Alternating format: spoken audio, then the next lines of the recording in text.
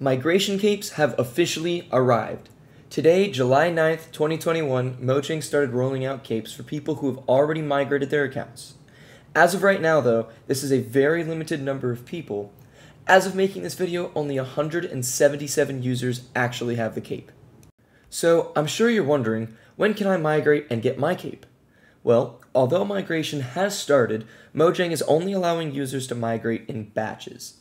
The closed beta for migration started with extremely rare and high tier accounts, such as Jeff with 5 Minecon capes, or Bemoti with a translator and a Mojira cape.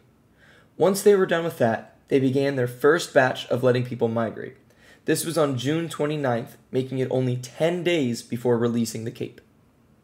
Now, realistically, how long will it be before you get your cape? The best answer is who knows? First off, your account had to have been created before December of 2020, making it a Mojang account rather than a Microsoft account. In December, Mojang changed it so that any new account created would already be a Microsoft account. If you meet that requirement, you have to hope that you'll be in one of the sooner batches rather than later ones, which it seems right now there is no rhyme or reason to. Unfortunately, based off of INED, a Mojang employee's tweet, due to summer vacations, Mojang is temporarily closing new batches. We don't really know how long this will take, but considering migration was planned for the beginning of this year, the best thing to do is to just be patient.